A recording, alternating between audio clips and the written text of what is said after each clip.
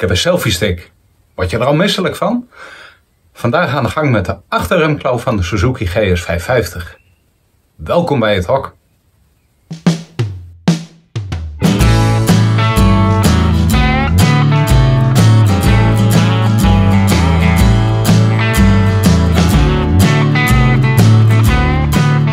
Ik heb heel soortje hier op de werkbank liggen.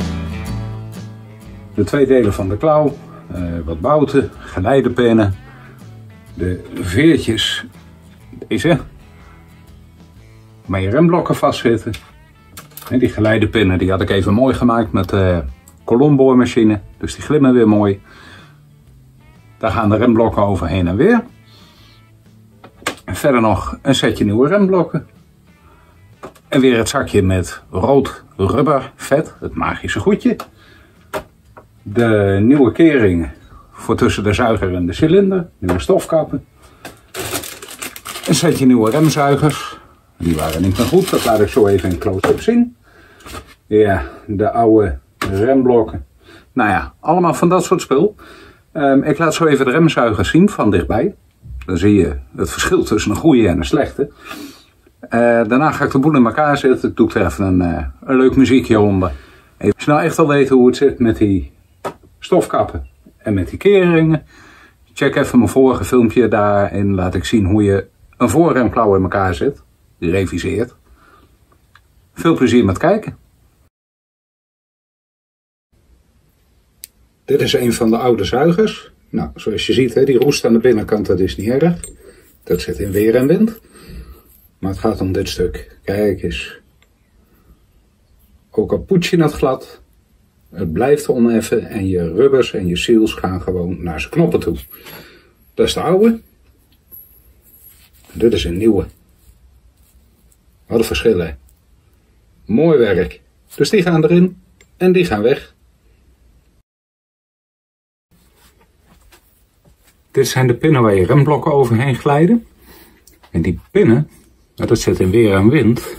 Dat is een stukje ijzer en aluminium. En die gaan hier wel eens vastzitten.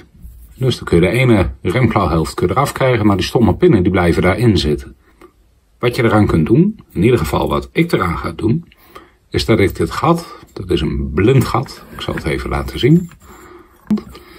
Deze pin is 5 mm dik, het gat is 5 mm, ik boor daar een gaatje in van 3 mm. Dat komt aan deze kant eruit bij de stipjes. Dat op het moment als die klauw weer uit elkaar moet en die pinnen zitten vast, dan kan ik hem vanaf deze kant eruit tikken. Maar er is wel vlees genoeg dat die pin goed op zijn plek blijft zitten en dat hij niet naar de buitenkant eruit schiet.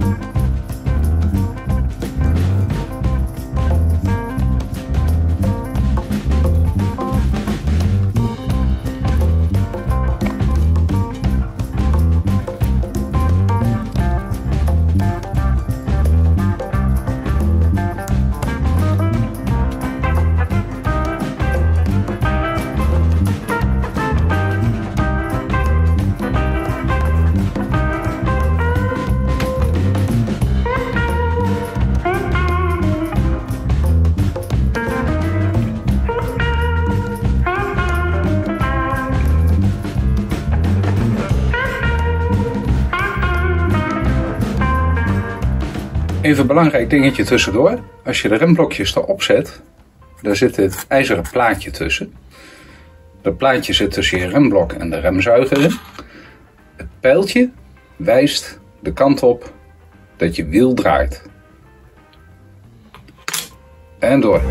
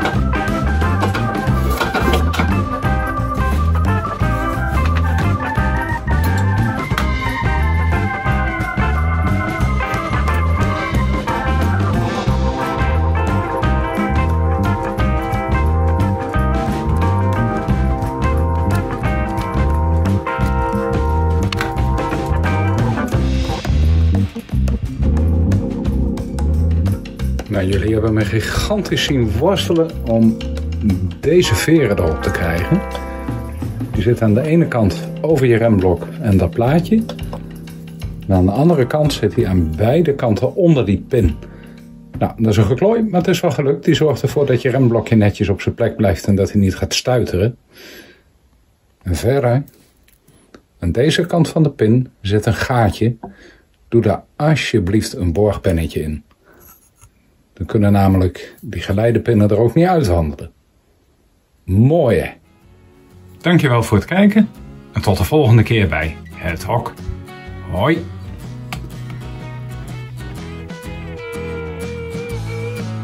Beetje amateuristisch hè, dat gepiep.